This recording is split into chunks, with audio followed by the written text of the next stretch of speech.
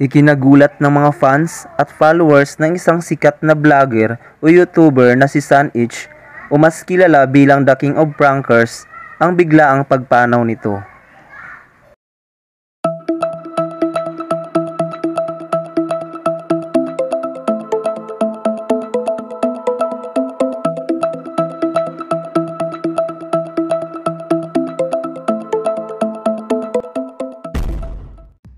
Kilala bilang isang vlogger o YouTuber si San Beach o San Hidalgo sa totoong buhay na tubong Davao.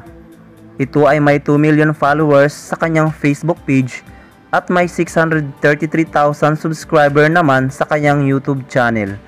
Nakilala siya dahil sa kanyang mga nakakatuwang content bilang taong grasa at tinaguriang The King of Prankers.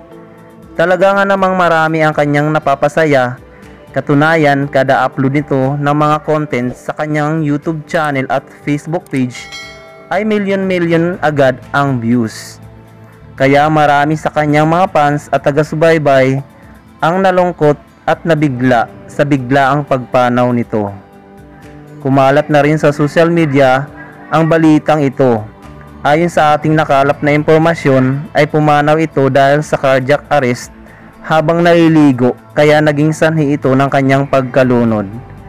Nangyari po ang insidenteng ito sa Enchanted River sa Hinatuan, Surigao del Sur.